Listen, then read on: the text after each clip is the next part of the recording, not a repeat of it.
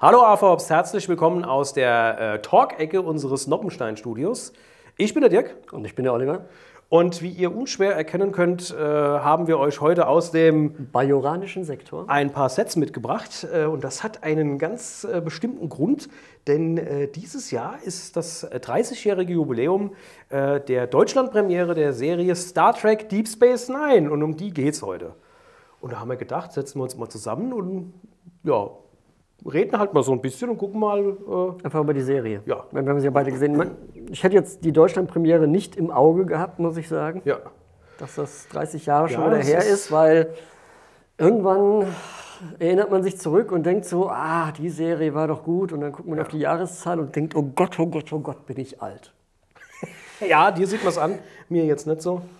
Lass den, Bart, lass den Bart länger wachsen, dann hast du genauso lange graue sagen, Streifen ich, wie ich. Ich werde ich werd auch langsam. Äh, ja, aber wir beide langsam. sind ja quasi damit aufgewachsen. Wir sind aufgewachsen Serie. damit, ja. Wir sind in etwa gleich alt und ähm, ich habe es damals tatsächlich äh, im, im Fernsehen gesehen und dachte am Anfang so, oh, was ist denn das und hin und her. Und ja gut, man hat ja vorher eigentlich schon äh, Next Generation geguckt und Deep Space Nine war dann ja die Fortsetzung. Es beginnt ja auch damit, dass, genau. äh, dass ich meine, 30 Jahre, wir spoilern ja garantiert nichts. Wenn nee, Sie jetzt noch nicht nee, gesehen hat, ist selber schuld. Genau. Beginnt ja auch damit, dass ähm, Cisco die Station übernimmt mhm. und in, dem Pilot, äh, in der Pilotfolge ist ja auch Captain Picard und die Enterprise ja. äh, vor Ort.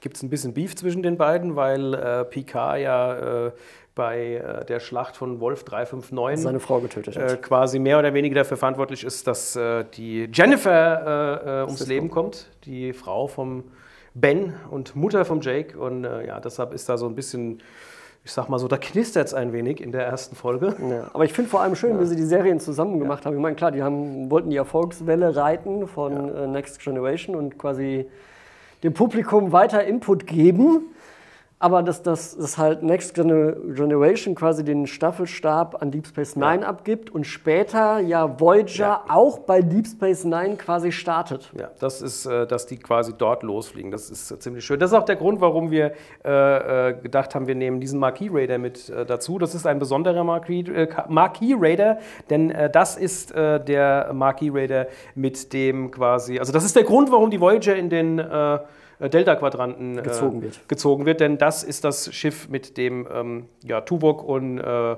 Chakotay quasi Belana. abhauen. Ne? Ja.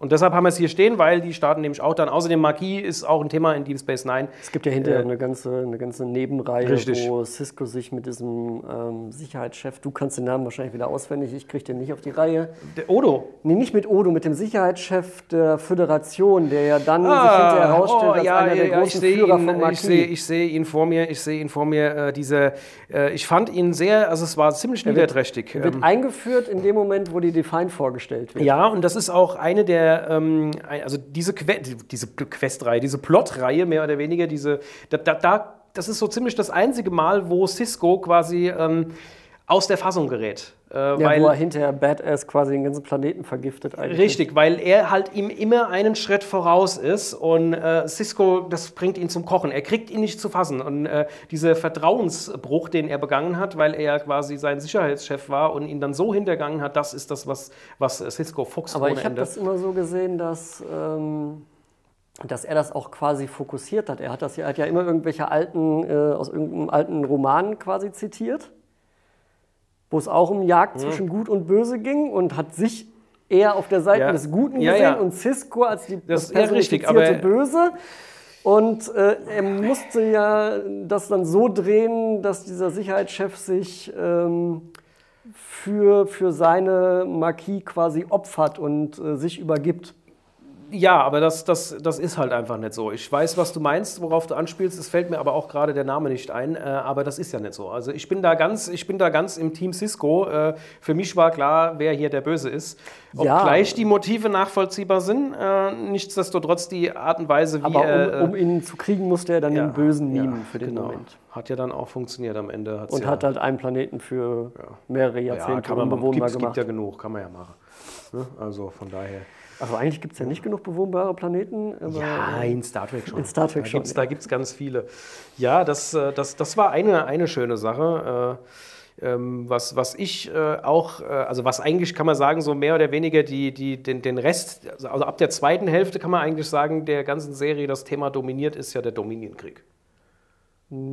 Nachdem sie das Dominion dann irgendwann treffen, ja. Ja. Am Anfang, am Anfang ist das Dominion ja nicht wirklich. Genau, am. Anfang gibt es das Dominion nicht, da haben sie es hier mit den Klingonen, die haben wir da hinten auch. Äh, Mit den Klingonen, mit den stehen. Cardassianern. Und mit den Cardassianern sowieso, das ist ja durchgehend ein Thema. Äh, Gul Dukat ist ja quasi bis ans Ende äh, präsent und, und wirkt Ja. auf seine ihm ganz eigene Art und Weise. Der Schauspieler von Gul Dukat spielt aber auch in Next Generation einen anderen Cardassianer, ne? In einer Next Generation Folge kommt er nämlich auch vor und da hat er so einen komischen, so ein Bärtchen zusätzlich noch. Da wird er aber halt nicht Gul Dukat genannt, überhaupt nicht Dukat. Er spielt Gul, Gul ist ja eh. Der Ghoul ist ja nur ein äh, Rangabzeichen. ein Es gibt Ghoul, genau. es gibt Glien und äh, es gibt Legaten und äh, was gibt's noch? Keine Ahnung. Also Ghoul, das ist, das ist nur ein Rangabzeichen, aber das, das wisst ihr eh. Ähm, aber dass äh, das äh, Dukat äh, nochmal als anderer Also der, der irgendwo- Schauspieler hat vorher schon Das- das- gespielt. das ich genau, aber- genau wie ja ähm, Quark schon vorher ein Ferengi Ja, ja, hat. ja, ja. Auch Und in zwar äh, einer von den dreien mit der Elektropeitsche Genau. äh, in, in, in einer der ersten TNG-Folgen. Also das, oh Gott, das war doch so schlecht, das war noch so peinlich. Ich glaube, da wussten sie selbst noch nicht, wohin sie wollen mit den Ferengi. Ich glaube, es wird auch später nie wieder auf Nee, diese Elektropeitschen nee. eingegangen. Nee. Und vor allen Dingen, warum die auch da sowieso Affen irgendwie. Oh, Jedenfalls nicht Also in es war- Serie, vielleicht wird es irgendwo es in irgendwelchen sehr, Romanen. sehr es gibt albern, ja sehr sehr viele. Star Trek-Romane auch zusätzlich, Ja. die Nebenhandlungen von. Man sieht viele, man sieht viele von den äh, äh, Darstellern in, in wiederkehrenden Rollen. Zum Beispiel ähm, die äh, Ehefrau von ähm, Worf, also die Mutter seines Sohnes Alexander, die äh, spielt ja die, seine Spielt ja also die Klingonen Halbklingonin. und sie spielt auch noch einmal eine äh, Vulkanierin. Okay. Ja, da Ja, sie gut, spielt glaub, eine vulkanische Wissenschaftsoffizierin, die dann immer so Aufgrund der, Ja, mit der Frisur. Äh, des Make-ups als, als, als Klingonin Ja. fällt das aber, glaube ich, Ja, weniger also auf. die, die sind alle eigentlich in, die haben quasi sämtliche Darsteller in allen Serien immer mal wieder vor die ja Kamera geholt. ähm, eine Folge, oder es, nee, es zog sich, glaube ich, über mehrere Folgen, wo Cisco am Ende quasi so ein bisschen abdreht und äh, immer wieder so äh, zwischen Realität ja, das ist gar nicht mal am Ende, das ist äh, relativ Ähm, mittendrin Wo er sogar. dann in, in Amerika der 19. Jahrhundert, also ich glaube Anfang 19. Jahrhundert, äh, einen schwarzen Schriftsteller spielt. Ja, okay, der, das ist wiederum äh, am Ende, ja. Der ähm, über, ein, Über eine, eine- eine, eine- Novelle schreibt richtig, über eine genau. Raumstation und Ja. über einen schwarzen Captain. ja. Ähm, Wo es- seine eigene Geschichte. Das so mitten in Und der Zeit ja- der Apartheid quasi, wo es dann ein, ein Schwarzer hat, so eine Geschichte nicht zu Und schreiben. da sind ja und, auch äh, die, die, die Schauspieler von Odo und Quark auf Richtig, jeden Fall. die sind ohne, alle ohne Make-up. sind auch. Gul Dukat sind ohne alle drin, sind genau. alle drin. Du- Dukat ist einer von äh, zusammen auch mit äh, äh, Veyun. Äh, Mhm. Das ist quasi der, das sind so die zwei äh, Gangster mehr oder weniger, die da draußen dann auf der Straße rumlaufen mit ihren Trenchcoats und den äh, Fedoras. Ja. Da ist Veyun und Dukat, äh, also die sind alle, die haben sie alle ungeschminkt gezeigt. Das fand ich auch super. Das ist eine meiner Lieblingsfolgen. Wobei ich, am Ende ist es ja gar nicht so klar, Was jetzt Realität war. ist es jetzt Realität? Hat er sich das, äh, Benny heißt er, hat er sich das nur ausgedacht, der Benny, der Schriftsteller, oder, oder ist es wirklich so und, und, und er hat hier nur. Ja, du kannst ja auch, du kannst ja auch noch eine andere Stufe gehen und äh, es kommt ja auch später raus, dass, äh, dass er ja irgendwie sowieso mit dem Propheten ja, noch verwandt ist Ja, oder so. Und äh, vielleicht war das ja auch eins seiner früheren Leben oder so. Könnte sein. Also wie gesagt, ich bin, ich bin ja der Meinung, dass, äh, also so habe ich es zumindest aufgefasst, dass es eben tatsächlich die, die, die das, das, die, die Deep Space Nine Story die Realität ist und dass, Ja, seine, gut. dass das andere quasi der Traum war, weil er, Du er hat ja ja vorher die ganze Serie durch. Natürlich ist Deep Space Nine die Realität. Ja, er hat ja, er hat ja auch, er hat ja auch solche andere, äh, solche Träume, zum Beispiel, wo er die, die, äh, die alte Stadt Behala oder so findet, wo er diesen Obelisken äh, äh, gefunden hat und War das sitzt. nicht irgendwas in Gehirnanomalien? Nee, nee, nee, hinterher der sitzt, der, rausoperieren nein, nein, der sitzt dann, der sitzt dann äh, in, in dem Holodeck, er mietet sich quasi ein Holodeck ein. Quark findet das auch total ätzend, weil er die Holosuite belegt Dann und hat da diesen, ja. diesen Obelisken. Obelisken, von dem er eigentlich nur eine Seite kennt und schafft es dann irgendwie über Spiegelungen auf einem Bild äh, Ja, auch die gut, Rückseite zu ist- sehen. Da sind quasi- Symbole drauf und findet so dann wie- Behala. Das ist quasi so wie CSI, wo sie in der Spiegelung einer Schraube Ja, das ja. Gesicht des Verbrechers erkennen, Ja, das was geht. technisch Das, gar nicht möglich Doch, doch, doch, das ist also, das geht sowas von. Äh, ja, also es gibt, Ja. es gibt viele, viele denkwürdige äh, Folgen in, in Deep Space Nine, in allen Serien, aber in Deep Space Nine äh, fand ich es halt Das war die erste Serie, die ich geguckt habe. Die erste, also ich Das war mit, die, also mit ganz Next als Generation kind, angefangen. Nein, nein, nein, als Kind, ich habe als Kind mit TOS angefangen. Der Captain Kirk, also das war ne, in Anfang der 80er, das war äh, großes Thema da immer noch, obwohl die Serie da ja schon den schon ein Jahrzehnt, äh, über ein Jahrzehnt auf dem Buckel hatte. Hauptsache mit zerrissener Uniform und dem, dem, Genau. dem, dem Mädel im Arm vom Ja, Planeten ja. zurückkehren. Richtig, genau. Das, das war. Und dann äh, kam dann irgendwann äh, Next Generation, da konnte ich aber gar nichts mit anfangen am Anfang. Das war mir, das fand ich irgendwie doof. Ich glaube, am Anfang haben sie auch noch viel rumexperimentiert. Ah, das war So ein lame. richtiger Also roter Faden hat sie erst hinterher auch da durchgezogen. da war ich dann so 12, 13 irgendwann. Und irgendwann danach kam dann DS9. Und da habe ich das am Anfang geguckt und dachte so, äh, es ist ja irgendwie, die sind ja nur auf der Raumstation, das ist ja Die doof. können ja nirgendwo hin. Ja, aber sie sind genau ja das- Mit den, mit den Runabouts und mit der Defiant hinterher sind sie ja trotzdem rumgeflogen. Aber genau das war ja das Coole, dass es halt eben nur auf der Station war, dass das alles sich auf diesem einen Ding, das war alles ein bisschen familiärer irgendwie. Ich weiß auch nicht, obwohl es ist im Endeffekt dasselbe, ob es ein Raumschiff ist oder eine Station, macht keinen Unterschied. Na gut, fliegen kann sie ja eigentlich auch trotzdem. Die verändert fliegen. ja auch die Position. Sie ist ja vorher im Orbit von, Ja. von Bajor Ja. und wo das Wurmloch äh, entdeckt wird, wird sie dann ja auf Befehl von Major Kira dahin verfrachtet.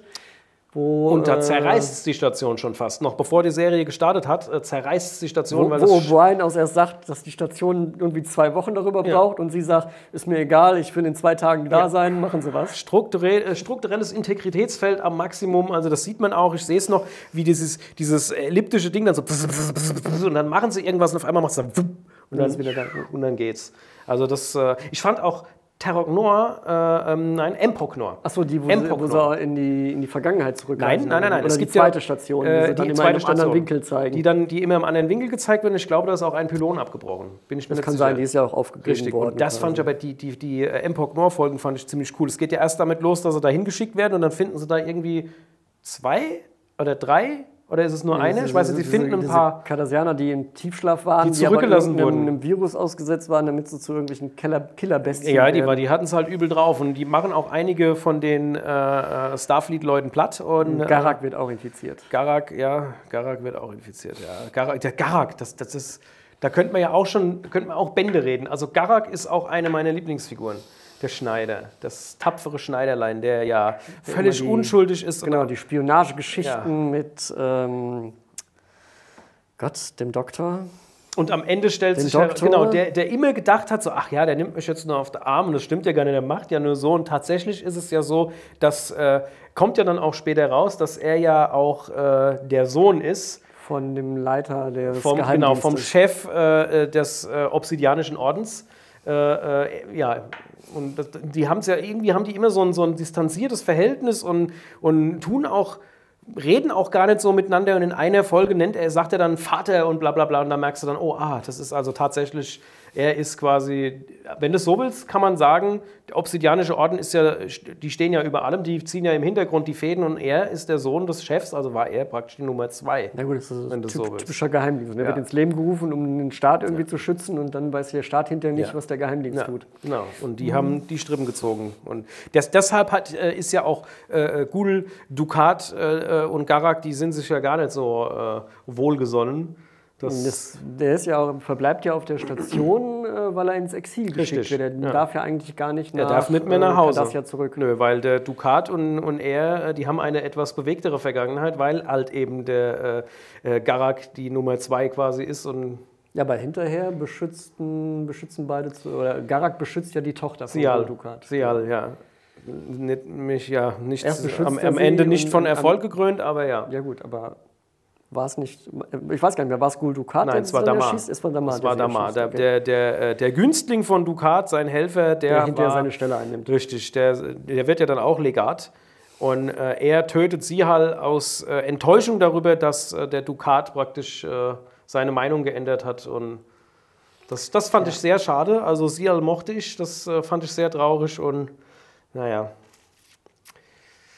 Eigentlich hätte ich es gut gefunden, wenn, wenn äh, Damar dafür dann äh, die gerechte Strafe erfahren hätte, aber das bleibt ihm ja quasi erspart. der- Im Gegenteil, am Ende äh, arbeitet Überlebt er. alles. Ja, er überlebt alles. Ne? Ja, das, das Ende ist sowieso, das, das ist auch so ein bisschen polarisierend von DS9, finde ich. Das Ja, gar nicht, also ich weiß, dass das am Ende des, äh, des, ähm, in den Feuerhöhlen. ähm, der Sohn von Cisco bleibt auf der Station zurück auf jeden Fall. Weil das ist irgendwie eine der ganz letzten Szenen, wo er mit Kira am Ah, wo Fenster steht und die Kamera Ja, rausfährt. da gibt's, da gibt's das eine. Aber ich weiß gar nicht mehr, was mit Cisco passiert, wo er hingeht. Naja, Cisco äh, äh, äh, zusammen, ähm, die, die, die gehen in die Feuerhöhlen. Er und, und äh, Ducat sind in den Feuerhöhlen und kämpfen dort. Weil, also eigentlich ist es so, dass, äh, dass äh, äh, Kaiwin und Ducat zusammen in den Feuerhöhlen sind, weil sie da irgendeinen Paargeist-Ritus durchführen wollen. Also der Ducat hat ja er Kaiwin hatte sich manipuliert. ein, eingeschmeichelt, in Menschengestalt- Bajorana ausgegeben als. Anjol, ja, und äh, in Menschengestalt quasi dann sie manipuliert hat, dass sie dort ihren Ritus durchführt, um irgendwie die Paargeister zu befreien und hast du nicht gesehen, keine Ahnung, was sie da wollen, also Apokalypse halt. Und dem kommt dann der Cisco quasi, der kommt dann da mit dazu und dann kämpfen die und in diesen Feuerhöhlen brennt schon quasi dieses Feuer und währenddem die da kämpfen, stürzen sie dann in dieses Feuer hinein und ja, es ist ein bisschen komisch, Okay. also Als man, hätten sie vielleicht gedacht, wir machen irgendwann noch mal weiter, oder wie? Nee, er, er, er, kehrt dann, er stürzt in die Flammen und mehr oder weniger kehrt er dann quasi äh, zu den äh, Wurmlochwesen mehr oder weniger zurück zu den Propheten. Äh, äh, Dukat ist tot. Und äh, ich meine sogar in einer der letzten Szenen, da bin ich mir jetzt aber nicht sicher, das könnt ihr gerne in die Kommentare schreiben. Ich meine, in einer der letzten Szenen ist es sogar so, dass äh, Cisco nochmal erscheint, um sich von Jake zu verabschieden. Ich glaube ja, die erscheint dann nochmal in seinem Quartier und verabschiedet sich dann nochmal und dann ist vorbei. Ich weiß, Es nicht, kann aber sein- Die letzte Szene war, wo Kira und äh, er am Fenster stehen, also der Okay. Sohn, und dann fährt die Kamera Okay, dann raus, zeigt nochmal die Station im Ganzen und dann ist Abspann. Verwechsel ich das vielleicht mit einer anderen Folge? Das ist eine der abgefahrensten Mit diesem Folgen. Gummiband, wo er einen Unfall Ja, hat und immer wieder zu seinem Sohn zurückgezogen wird über Richtig, die wo, Zeiten. ganz genau, wo du dann siehst, wie, wie Jake immer älter wird und immer älter wird und, schreibt dann dieses Buch, für das er ja dann später auch berühmt ist, dieses Ansel Ja, aber dann, dann hört er aber auch auf und kümmert sich erst darum, dass er irgendwie das, äh, den Unfall des Vaters rekonstruiert. Und er studiert ja die er, Physik er, Aber er dahinter. schafft es nicht, er schafft es nicht. Und dann sitzt er irgendwann, äh, äh, alt und gebrechlich, sitzt er in seinem Haus irgendwo im Wald. Sel selber schon und so fängt, genau, so fängt ja die Serie an, also die Folge. Wo diese, äh, dieses junge Mädel. Die, die will auch ist Schriftstellerin, Schriftstellerin werden. Genau. Und, und, und sie redet dann mit ihm über dieses Dings und er sagt dann so alle, keine Ahnung, 15 Jahre oder irgendwie, keine Ahnung, wie, der, wie das Intervall ist, kommt er halt wieder für ein paar Minuten und weiß halt gar nicht, wo Ich er glaube, ist. die, die Intervalle werden immer länger. Oder so, ja. Und, und also das, wäre das er war, dann nicht mehr da. Und also das ist muss wirklich- es durchschneiden, wenn er nah an ihm dran Ja, ist. und das ist eine bitterböse Folge Ja. eigentlich. Die ist äh, wirklich, also finde ich, wenn man sich da mal drüber Gedanken macht, wie schlimm das eigentlich ist. Ja gut, aber er hatte ja recht. Er erscheint wieder in der Vergangenheit und Ja. hat so Ja. sein ganzes Und- Leben mit seinem Sohn noch zusammen Genau, als, sich. als, Also, als wäre es nie passiert. Aber für den, für den Jake für den Jack ist es ja nie passiert. Der weiß es ja nicht. Ja, aber, aber doch, eigentlich schon. Für den, es, es ist, das, ist ja, das ist ja wieder dieses Paradoxon. Ist es jetzt passiert oder ist es nicht passiert? Weil der alte Jake, der dann quasi gesorgt hat dafür, dass es nicht passiert ist, der hat es ja erlebt. Zeitreisen, Aber hat er, dann, Knoten rein. hat er dann quasi seinen, seinen Zeitstrang eliminiert, dadurch, dass er das Band gelöst hat? Und ich glaube, das heißt sogar das Band, die Episode. Das kann sein. Äh, dass er dann quasi. Episodennamen. Also, das ist wirklich, das ist mit einer meiner Lieblingsfolgen, weil die halt wirklich todtraurig ist, finde ich. Ganz schlimm. Ja. Aber Ich weiß, ich weiß gar nicht mit Lieblingsfolge, weil ich habe gestern äh, im Bett abends noch gelegen und meinte, oh, hm, morgen das Video und oh, was ist denn die Lieblingsfolge? Was ist meine Lieblings? Ja, die, Ich- die, ich hab das da ist, also die ist ganz vorne Also mit dabei auf jeden ganz Fall. viele, ganz viele gute Folgen. Es gibt ja auch die Folge, wo die Defiant abstürzt auf diesem einen Planeten Ja. und äh, also durch so eine temporäre Barri Barriere fliegt und nicht mehr zurück kann. Und dann haben sie es schon versucht, weil sie auf dem Planeten ja ihre, ähm, ihre Nachkommen finden, die Oh. ja bei dem Versuch zu entkommen auf dem Planeten Ja, abgestürzt sind. Richtig, das ist doch das, wo äh, sie ihn in diese Kiste reinsperren. wo, äh, wo Odo in der Kiste eingesperrt ist. Nein, nicht nee, nee, Odo, wo, der- das, der das, das, das ist schon wieder eine andere Folge. Ach, ich meine eine ich mein die Folge, wo, ähm, wo dann halt die Defiance abgestürzt und kommt dann nicht mehr weg. Deswegen haben die dann angefangen, eine Siedlung zu bauen und haben ganz viele Nachkommen untereinander. Und äh, Kira ist beim Absturz gestorben. Stimmt. Und der Odo kann aber aufgrund dieses Feldes um den Planeten keine Form annehmen. Deswegen ist ja die ganze Folge Ah, flüssig. ja, ja. Aber es gibt den Odo, der quasi mit abgestürzt Stimmt. ist. Der hat in der Zwischenzeit Richtig, und gemeistert, der- seine Form zu halten. Und, und der auch verliebt sich dann in die Kira, die. Nein, der hat ja sowieso sich schon, der Ja, hat genau, Kira sie schon hat- immer geliebt, aber am Richtig. Ende erzählt er Kira, dass er halt immer in sie verliebt Und war. darum kriegt der flüssige Odo, den sie dann wieder mit nach Hause nehmen, schafft es dann, ihr Herz zu gewinnen und daran kommen sie zusammen. Ja, und vor allem sorgt der gealterte Odo quasi dafür, dass das mit der, die, die, Feind hat dann geplant, auch abzustürzen, damit die über 300 Leute da unten nicht aufhören zu existieren. Und der gealterte Odo ändert das dann, den Plan, ohne dass die anderen das alle wissen, dass die, die Feind doch durch die temporäre Barriere kommt und die Siedlung den Planeten verschwindet. Niemals gegeben hat. Ja. Genau. Aber Kira weiß dann, dass Ja. Odo in ihn verliebt ist. äh, in sie Die verliebt ist. Defiant, da ist sie.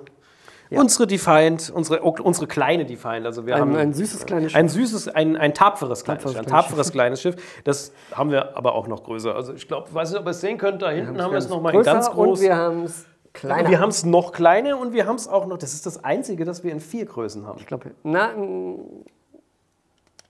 bin ich mir gar nicht sicher, ähm, weil durch den, ich meine, das ist äh, klar bei der Deep Space Nine dabei in dem Im Adventskalender ist genauso. Im Adventskalender auch. Wir haben im Adventskalender aber auch mehrere kleine Schiffe. Aber wir wir, haben- eine, wir haben eine, eine Aber wir haben keins, als- auch doch, wir haben eine Display D, wir haben eine Midsize D, wir haben eine Mini D und wir haben die D auch in Mikro-D. den Okay, ich nehme alles also das zurück. Ist nicht das einzige ich nehme alles zurück. Wir haben, wir haben mehrere. Wir haben auch, haben wir den auch in ganz klein? Ich meine schon. Oder war es der? Ich weiß es gar Also nicht. es ist in dem Adventskalender ist kein, äh, kein Jem'Hadar-Schiff. Die Galor-Klasse, die ist im Adventskalender. Äh, wir haben kein Jemadar-Schiff im Adventskalender. Ein Bird of Prey. Das bringt mich auf Ideen. Eine Galor-Klasse und ähm, Ferengi-Schiff. Äh, dem, dem Marauder. Ja. Den Decora Mar- Die Marauder. sind, die sind in Ja. dem Adventskalender auf jeden Fall. ja. Ja. Die, waren, die waren in dem Adventskalender drin, weil es gibt, ist ja ausverkauft gewesen. Die große ist natürlich jetzt, äh, die wäre für einen Adventskalender, da- gut, da müsste man dann über mehrere Jahre Adventskalender machen und dann wird man die auch unterbringen. Also meinst du, jedes Mal baut man ein so ein Genau, Stück und normal. nach, nach zwölf. Jahren hat man dann einen Ja. Ring fertig. Man, richtig, das wäre, das wäre so ein Ding. Ja, die Das, große. das, hat, das hat sowas von diesen Zeitschriften, wo man äh, ein Modell zusammenbaut und immer wieder so, so ein Stückchen kriegt. Genau, und am- die, erst, die ersten 20 kosten 5 Euro und danach geht der Preis rapide hoch. Am Anfang kriegst du so ein Lockmittel mehr oder weniger Genau. und, äh, und dann wird es immer weniger, was du kriegst. Und irgendwann kriegst du immer noch ein. Schräubchen oder so, keine Ahnung. Ja, das, jetzt wo ich das so sehe, das bringt mich ja auch zu so, zum, zum weiteren äh, Thema. Die, wir haben ja jetzt hier ganz viele Deep Space Nine Modelle auch auf dem Tisch stehen und ähm, die sind nicht alle aus derselben Welle. Im Gegenteil, sind alles unterschiedliche Wellen wahrscheinlich. Und ähm, ja, die sind ja erst zum Schluss dazu. die sind erst zum Schluss gekommen, die sind noch relativ, der da ist noch relativ neu. Ich glaube, der kam eins vorher, dann kam er hier. Und ähm, ja, die Deep Space Nine, da haben wir sehr viel Herzblut reingesteckt, aber muss man leider sagen, ist ja nicht das beliebteste Set gewesen. Was heißt beliebt? Also es ist ja halt eine, wahrscheinlich eine Preisfrage und es ist eine Platzfrage. Es ist ich glaube, es ist mehr ja. eine Platz als eine Es, Preisfrage. es, ist von, es ist vom Platz her ist es natürlich eher ein spezielles Set. Das Ding hat über, ich glaube, über 60 es Zentimeter. sind, sind knappe 60 Oder Zentimeter knappe Durchmesser. 60 Zentimeter. Den Platz hat nicht jeder. Ähm, das macht's, schränkt schon mal, sag ich mal, die mögliche Käuferschaft etwas ein. Äh, und der Preis war oder ist natürlich auch, äh, es ist halt ein großes Man hätte Modell. sie vielleicht ein bisschen kleiner designen müssen, ob man dann den Ja. äh, Undock-Ring so komplett Und das ist der hingekriegt Punkt. hätte. Und Das ist der Punkt. Die Details an der Ops noch gesehen hätte. Das ist ein ganz wichtiges Thema. Ähm, gut, man muss ehrlich sein, man, man, kann, man kann ja darüber sprechen, man muss ehrlich sein. Äh, dieses Set äh, ist vielleicht nicht nur unbedingt so gut angekommen, wie wir es uns gehofft hätten, sondern das Set hat auch ein paar Probleme, äh, muss man ganz klar sagen, ähm, die eben, ja, ich sag mal, baubedingt sind. Und das haben wir auch in anderen Videos immer mal schon angesprochen gehabt. Man muss halt immer abwägen, willst du jetzt das Set ultra stabil machen, dafür sieht es aber überhaupt nicht so aus, wie es aussehen könnte, sollte oder müsste. Müsste, müsste, weil Müsste. du sollst ja möglichst nah an der Genau. Vorlage sein. Oder willst du jetzt ein, ein Set machen, das halt richtig äh, äh, Bomber an die Vorlage rankommt und super gut aussieht äh, und es dafür halt eben nicht so gut hält?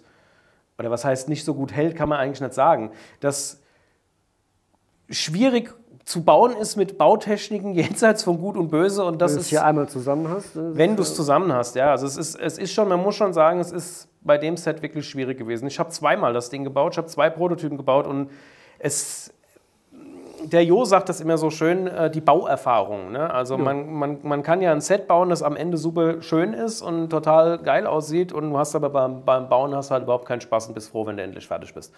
Äh, und Marco wird jetzt wieder sagen, es ist repetitiv. also du baust ja dreimal die gleichen Pylonen, es du baust dreimal repetitiv. den gleichen Außenring. Und, ja. und nicht nur das, du baust erst die untere Hälfte, dann baust du das mittlere Ding, dann baust du das obere, das machst du dann gleich dreimal. Und es, es ist wirklich, also bei dem Set, äh, ich habe es kann man schöne Serie gucken. mehrmals gebaut. Ich fand es, äh, es hat mir dann am Ende auch keinen Spaß mehr gemacht.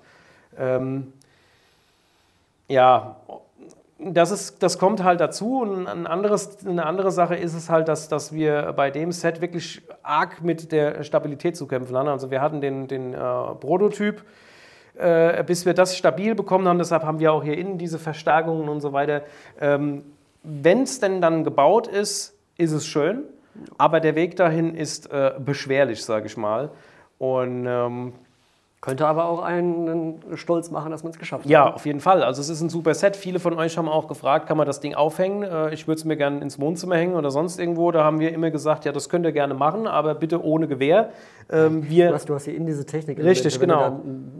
Garn durchziehst, genau. dieses Anglergarn oder ja. so, richtig stabil. Klar. Ja, aber wenn du jetzt, wenn du jetzt, wenn wir jetzt den Leuten sagen, na klar, könnt ihr es aufhängen und es fällt jemand auf den Kopf, dann. Oder immer auf eigene Verantwortung. Eben, deshalb. Also wir haben ganz klar gesagt, die Möglichkeit, das aufzuhängen, ist eventuell oder beziehungsweise am ehesten gegeben, wenn du das genauso machst, wie du es gerade gesagt hast. Wir haben natürlich nicht dazu geraten. Äh, wer das machen möchte, kann das natürlich auf eigene Gefahr hin gerne tun. Äh, aber darfst du natürlich nicht empfehlen. Ne? Am Ende passiert irgendwas ja, also es soll aber Leute geben, die das schon getan haben, die das gemacht haben, ja. Und Baust du es noch ein bisschen um, irgendwie eine ein Lampensockel in der Mitte rein? Lampen, ja, also kann man, kann, man, kann man einiges machen. Es, es, ist ein schönes Modell. Wie gesagt, wir haben da auch sehr viel Herzblut reingesteckt und es war uns auch wichtig, das zu bringen, weil äh, wir haben eben zu jeder Serie quasi, das ist das Hauptschiff in Anführungszeichen, obwohl es kein Schiff ist, zu äh, DS9. Ja, die ganze das, Serie dreht sich um ne? dieses Schiff. Wir haben alle großen Displaymodelle, sind eben quasi die, die, die Hauptschiffe aus den, also die, wie haben wir sie genannt, die Heldenschiffe hm. Heldenschiffe haben ja, es Helden? Gibt, es gibt, gibt kein Displaymodell von. Äh, doch, wir haben ein Displaymodell von, ähm, von Bird of Prey. Wir haben Displaymodell, ja gut, aber das ist ja im weitesten Sinne. Wann ist, wer ist denn mal mit Bird of Prey geflogen? Riker, aber das war in einer Folge. Bird of Prey. Das war eine, eine für Ben Cisco auch, aber das ist nur eine Folge gewesen. Na gut, und äh, Kirk.